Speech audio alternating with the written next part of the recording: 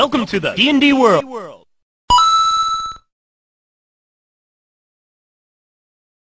Hey everybody, this is Dave on CRPG Dungeons and Dragons tonight, and this is going to be Phantasie. It's a trilogy of games that came out roughly around the same time, if not before, the Gold Box games by SSI, who put the Gold Box games together. So, since I have no idea how these games play, I'm actually going to read the manual first before going any further. I'm not going to read the entire manual, just get a rough idea how the game works, how the story goes, that kind of thing. Already we have kind of like a Marvel Comics kind of cover right here. Guy kind of looks like uh, uh, the original Green Arrow or maybe uh, Vanth Dreadstar. Merlin looking guy here. Not quite sure what he's supposed to be. Demon looking guy and guessing that's a fairy of some sort? Or a pixie? So apparently pixies and demon looking guys are going to be part of the party maybe? Who knows? Alright, so what we got? Uh, we got about 23 pages worth of stuff, so. Oh, and we got some uh, flavor text here already, so we're going to go ahead and let's see if we can enlarge that a bit so it's readable. There we go.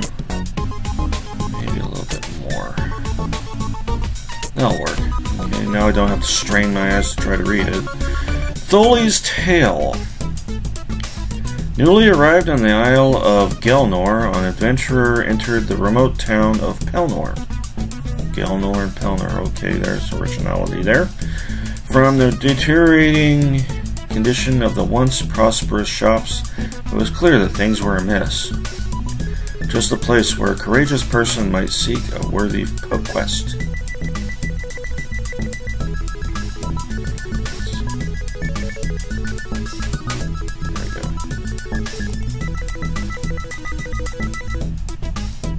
The adventurer hailed a passing citizen. Where might I find information about your town and land? Looking furtively over over his shoulder, the man tersely replied, Ask for Tholi at the inn, before scurrying away. Sure enough, the, the adventurer found the town's storyteller sitting at the back of the smoky, dimly lit common room. Hail, greeted the adventurer as he took a seat on the rough hewn bench. I've come to Gelnor to seek my fortune. Can you tell me the tales of this land? Why, certainly, said the old gnome. He waited for the adventurer to buy him a tankard of brew and a meat pie before convincing his tale in a soft, sing song voice. In the beginning, there was a barren vastness filled only with stars and light, and it was called the astral plane. Within this vastness, a place was created wherein dwelt Zeus and his followers. The magical river Styx flowed and round it all, and it was called the Olympic Plain. Well, we're going with Greek mythology apparently with this one. Next, the earth and all things on it, living and dead, were created, and it was called the material plane. I already knew the legend of how the world began, and I in- interrupted the adventurer. A look of disgust and disbelief made its way across the youthful face. I want to know about Gelnor and what's happening now. Are there adventures, fortunes for the likes of me? Adventures and fortunes for the likes of me. Ha! Tholi retorted. Ever heard of the evil ones called Black Knights?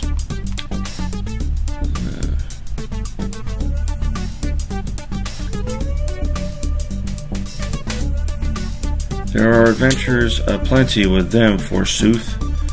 The adventurer face lit up and he leaned toward the storyteller. Yes, tell me about the Black Knights. Tholi continued, The Isle of Geralnor is divided by a chain of mountains into two regions. The west is the traditional domain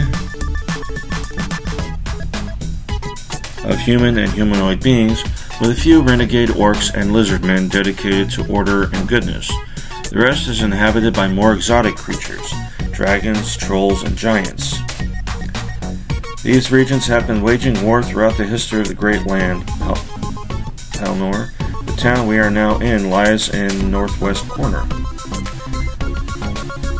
Black Knights. What about the Black Knights? demanded the adventurer, interrupting once again. Patience! roared Tholi, his first banged his fist banged the table. I'm getting there! Since the great invasion by the evil sorcerer Nicodemus, the Isle of Gelnor has been terrorized by his merciless Black Knights. The citizens of this land hold in such fear and enmity of these intruders that it has even overshadowed their hatred for each other.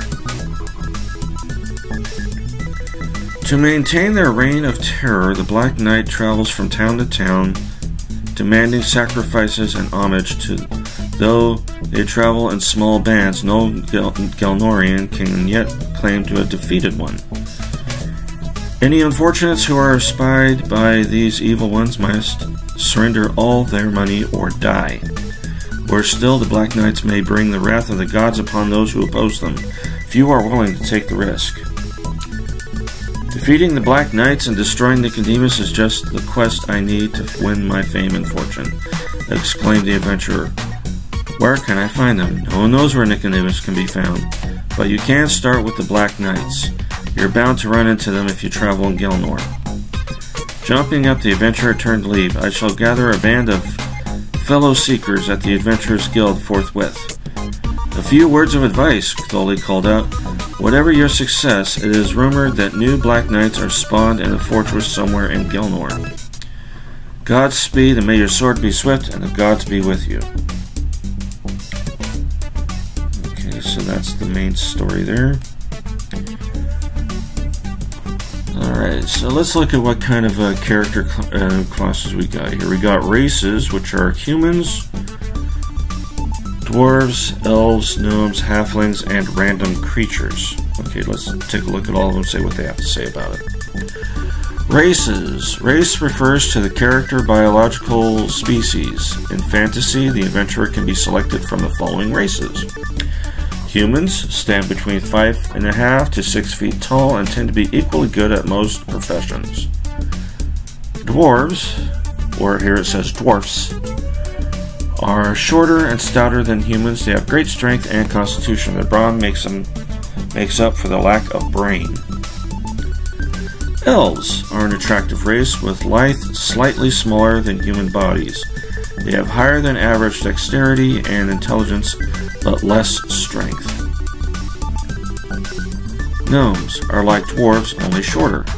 While not quite as strong, they do demonstrate greater dexterity. Halflings are small like dwarves, but not as stout. They have greater mental power and less physical powers. Random creatures are generally disliked by humans, so they must pay hefty training fees. They can only be thieves or fighters. When you select random creatures, your character will be chosen from one of the following. Ooh, what's over here? And these are randomly picked. Okay, so random creatures are generally. I already read that already. Hello, viewer. Uh, Gnolls are very strong, tall, dark-faced humanoid covered with fuzzy yellow-brown hair. We got goblins, very dexterous. Yeah, it doesn't really tell much about them. It just gives like a rough idea, and that's about it. Very dexterous and ugly creatures stand about four feet tall. They have large fangs, pointy ears, and foul breath.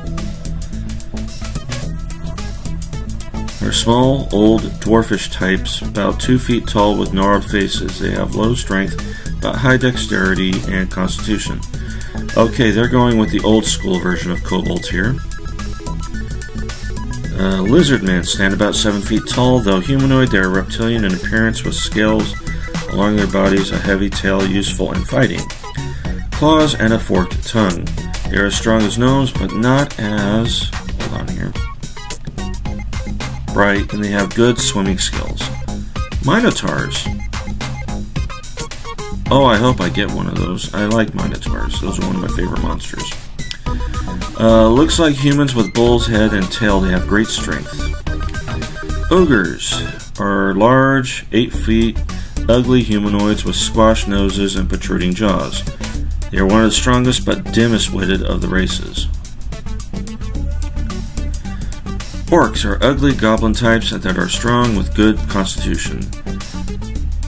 Pixies are tiny fairy creatures, two feet tall, with painted ears and transparent wings. Pointed ears, I said painted, I meant to say pointed. Their dexterity and intelligence run high. Sprites are charming, social, sociable, fairy like creatures. Because of their great dexterity and lack of strength, they make better thieves than fighters.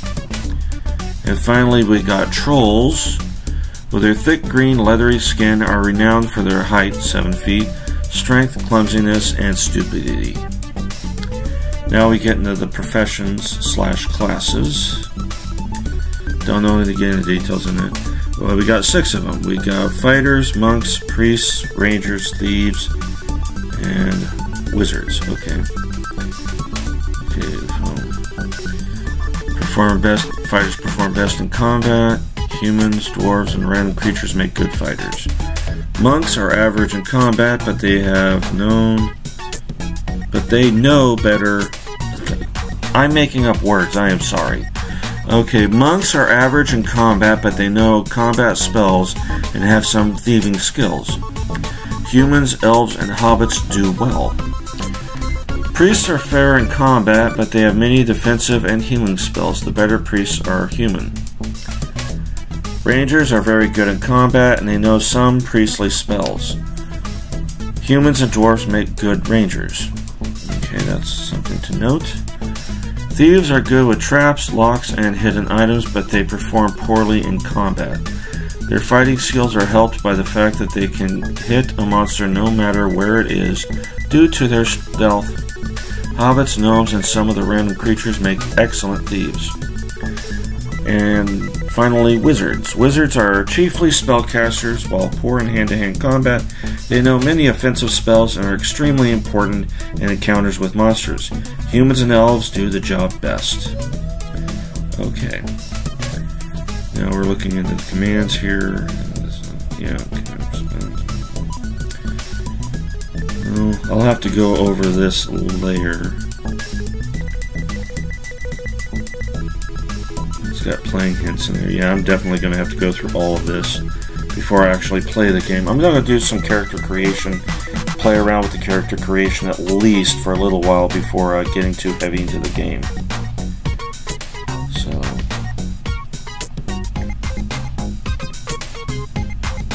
So we can make a party of six. Okay, that's good.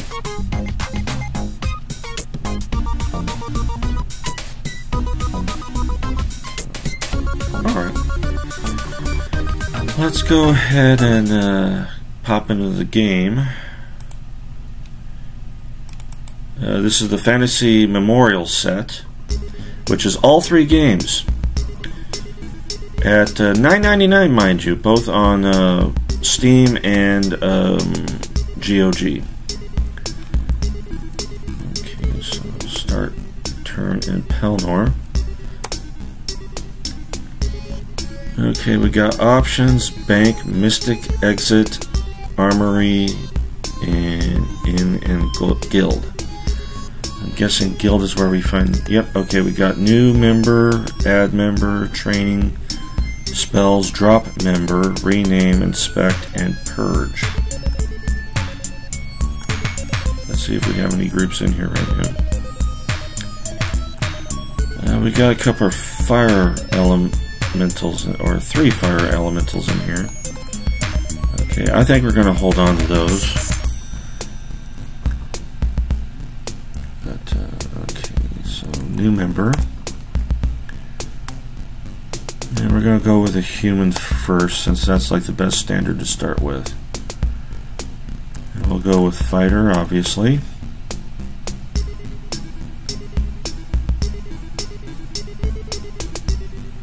Gave him next to no strength whatsoever. So purge, human fighter. Purge. At least they made this a little bit easier to work with. There's some games where I played where Can I fart around with the number? No, I can't. Okay, so the numbers I want to worry about for a fighter, I'm guessing, is strength, dexterity, and constitution.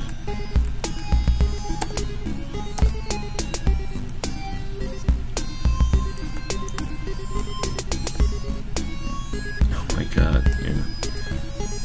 Oh, here we go. And a high charisma, nice. Okay. Hit points of 15, age 20, magic 5 5, gold and bank 256. Okay, we'll keep him. Input name.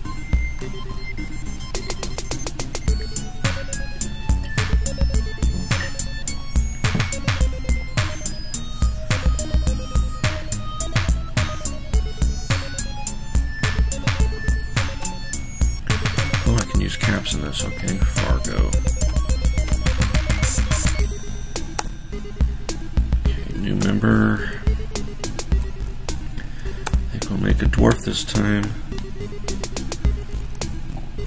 Uh, yeah, well, we can do a little better than that, I think. Well, actually, let's go with Ranger this time. Uh, we can do a little better than that. Ranger. You know what? Let's let's try a rando. Let's try a random here and go with a fighter.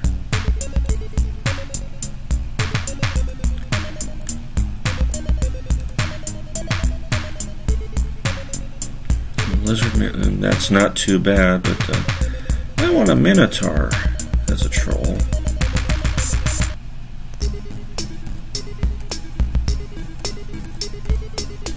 Ogre. Lizard man again.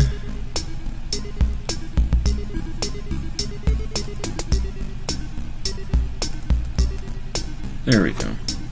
And of course, his numbers are shit. So uh, let's try that again.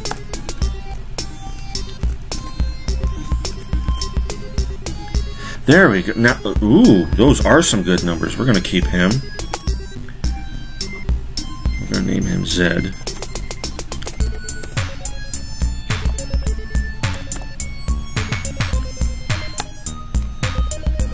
so we got two fighters made. I might actually put the Minotaur on front and forego the human. Alright, let's go with making that Ranger now. Let's make a human Ranger this time.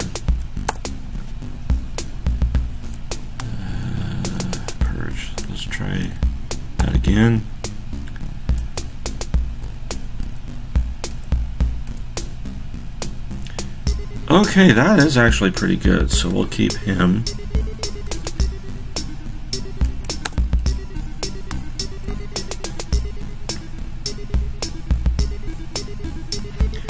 Ah, why not? We'll name him Arrow.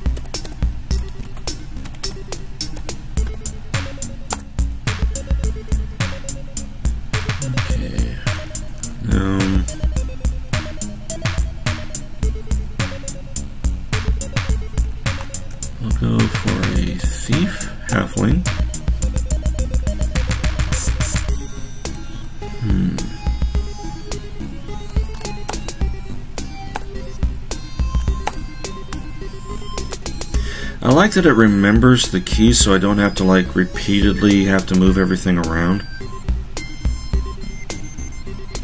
Uh, I think a thief needs a little bit more better dexterity.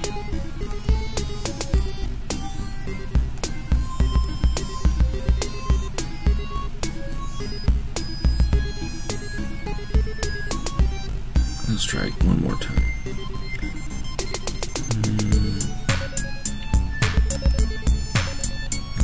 Strength maybe.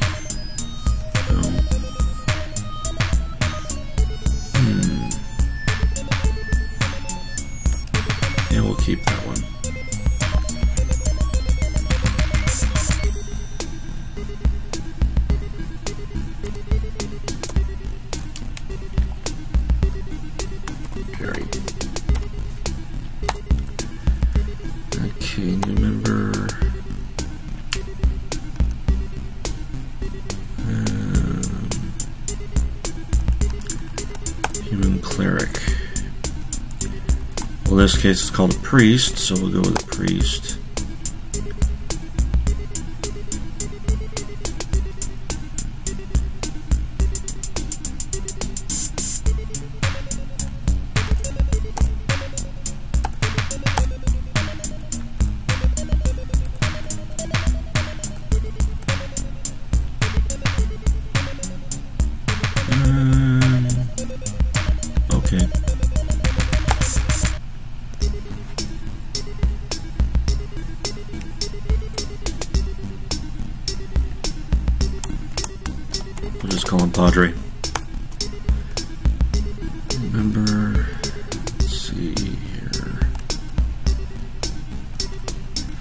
Let's see how many do we have right now.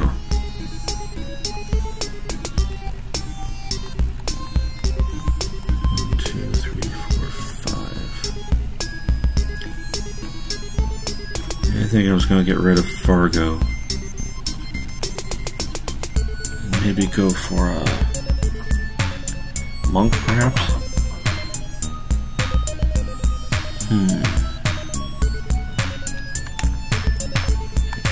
Drop member.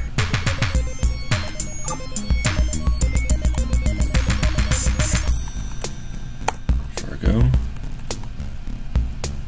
Okay, so um, let's see. I was going to make a uh, monk, so let's make our dwarf a monk.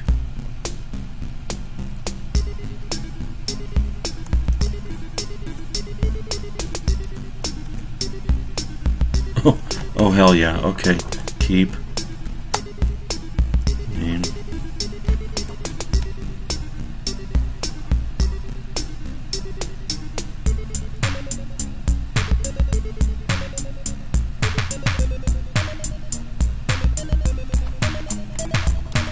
Granite.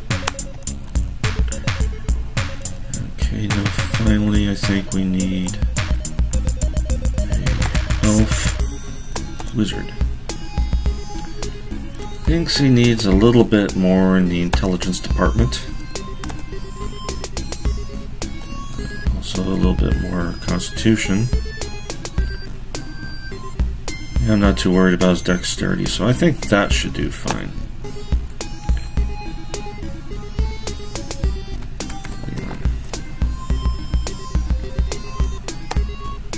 Okay, now let's uh, see here how this works out. So got Z.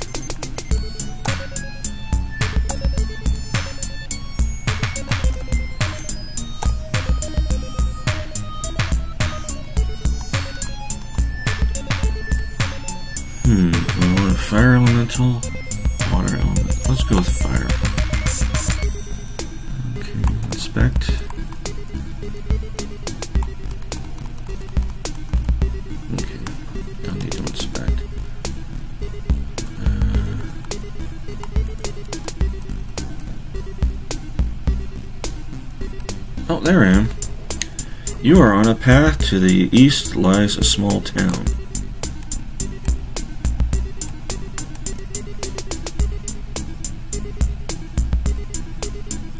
To the west is a building called the Red Pony Inn. Yes. You can't afford it, sorry. Oh, we got a fight. Okay. Party options.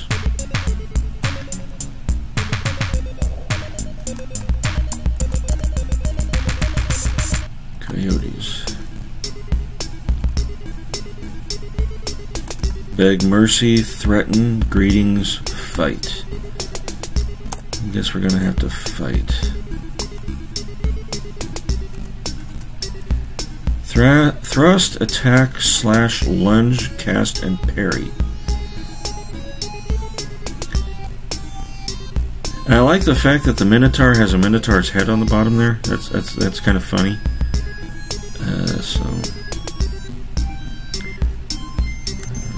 Alright, let's to attack.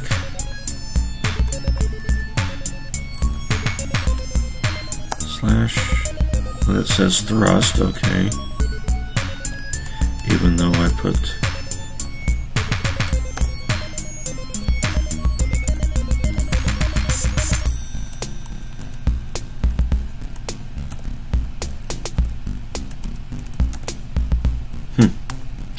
So lunge was the only thing. Okay, let's just put thrust. Thrust at rank 1. Okay.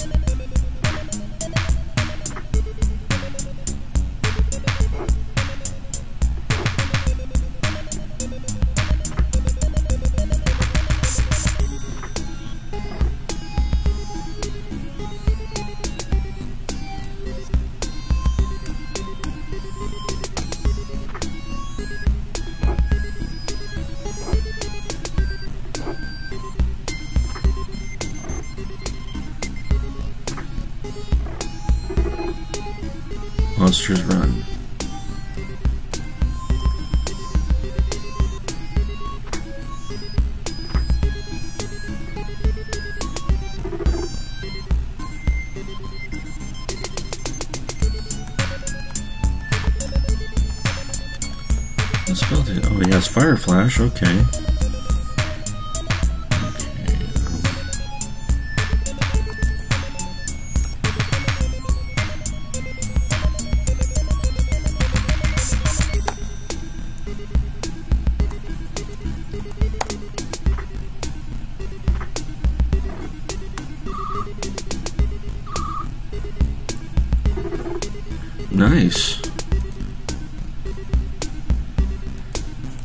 Okay. So that how that works. What was that? A night encounter. And here's the monsters. What the hell are those? Okay. Show names. Bantiers.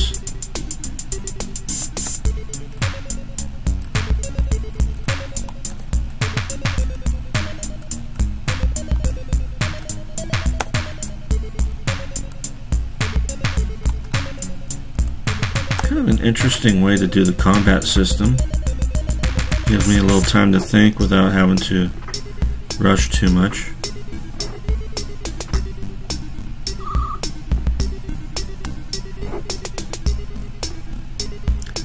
Now, mind you, this isn't going to be my permanent party. This is just me experimenting with the game right now. Because I've never seen this game before, so I've... I'm playing it more out of curiosity right now.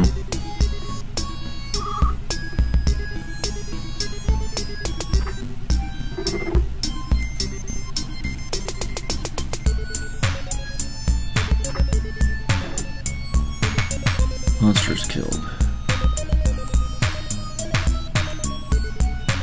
You spot sleeping monsters. Ah, leave them. Can't afford it. Mm -hmm.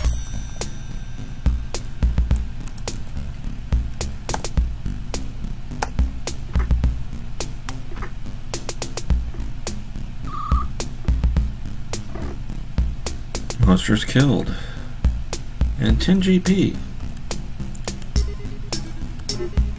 Yes. You have 198 gold shares for Z.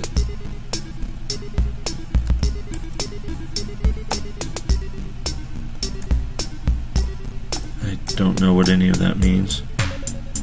Each share is 33 gold and 280 experience. So we get all our experience and stuff once we get into town. Well, that's different.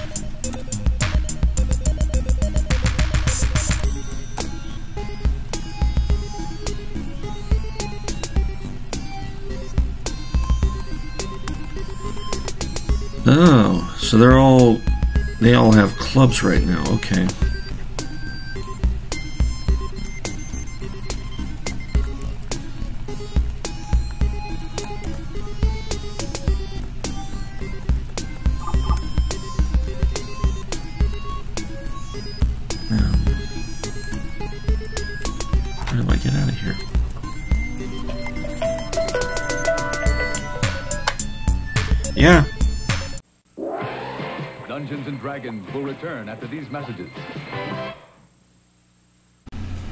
Hey everybody, this is Dave. Just letting you guys know real quick that on the 16th of this month, that's August, I will be at Legends Comics and Games at 1752 Shaw Avenue, Clovis, California, around 11 a.m. Uh, that would be opening hours for them, I believe. I'll be spending an hour or so over there, uh, hanging out, uh, taking some footage, talking to the employees, and uh, just getting to know the layout of the place. Anyway, uh, come by and say hi if you happen to be in the area, and uh, who knows? Bye. And now, back to Dungeons and Dragons. Well, I don't exactly know how to exit out of this menu.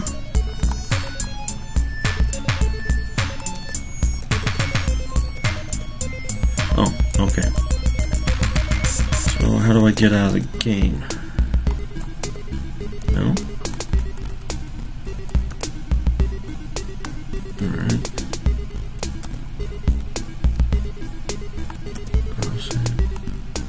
Oh, I could put on autosave, that's nice.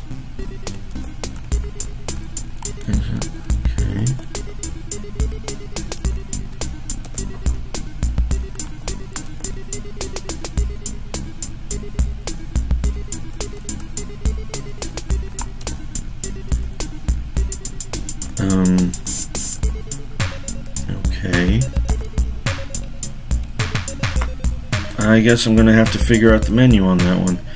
Anyway, um, this was just me doing a test run of this. It's, I didn't think this was going to be a very long uh, stream, so uh, thank you for watching, whoever you are, viewer, and um, thank you for watching on my channel, CRPG Dungeons and Dragons Night, where this will be playing as a recording. In the meantime, you guys take care, and I got stuff to do. Talk to you later. Bye.